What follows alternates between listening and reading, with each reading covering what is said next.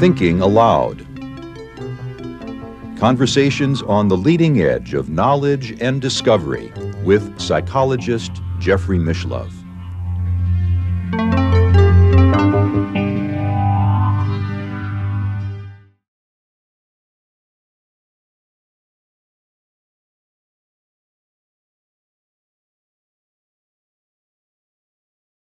You come to the field of consciousness as an anesthesiologist, uh, which makes perfect sense. Uh, although it seems as if there, most people would think uh, of someone studying consciousness should be a philosopher or a psychologist or a uh, neurologist. Tell me about the history of anesthesiology as it pertains to the study of consciousness.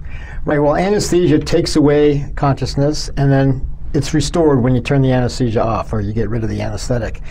And it's fairly selective in that under anesthesia, the brain is quite active. We can record EEG, it just tends to get a little bit slower. We can uh, record evoked potentials, mm-hmm. and in fact, we do this clinically. So, for example, if the surgeon is working on the spine uh, and the neck or the back, uh, we can stimulate from the feet or the arms and record from the brain on the opposite side to make sure that the signals are getting through the spinal cord into the brain. This They're is a surprising finding already. I mean, most people would probably imagine that if you're out cold under anesthesia, that your nervous system is quiet. Correct, and it's quieter, but it's not it's not totally quiet, and it's quite active. EEG gets slower. As I said, evoke potentials. There's lots of stuff going on, but most of what the brain does is non-conscious anyway. Consciousness is kind of a, a, small piece of what the brain does. The most essential piece, probably the most essential thing in the in the universe, is consciousness. It's really all that really matters when you come right down to it.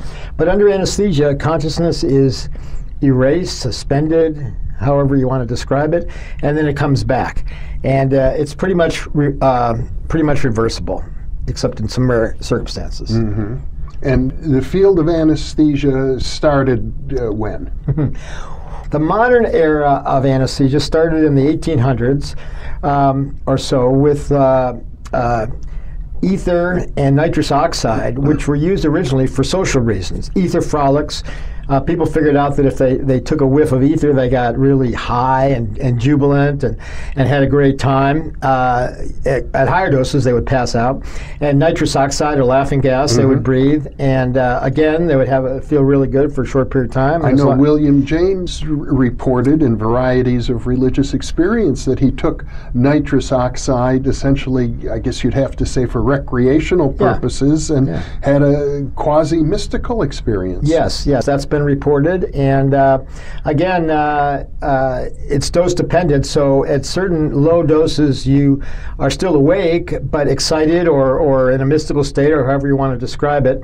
And at higher doses, you lose consciousness entirely. And so that's how it started with ether frolics and laughing gas. The, the, the question is, you know, how does it work? How, do, how does anesthesia prevent consciousness? How does yes. it work in the brain? And that's where the scientific aspect of it comes in. It's, it's, it's a wonderful clinical medical tool. Uh, imagine living in a world without anesthesia. If, if you uh, got in a car accident, broke your leg or anything, and required surgery, think of uh, uh, the difference it makes knowing that okay i'll go to sleep or they'll give me a spinal my leg will be numb i won't feel anything uh, as opposed to the terror we would live under if anesthesia didn't exist it's really an amazing discovery indeed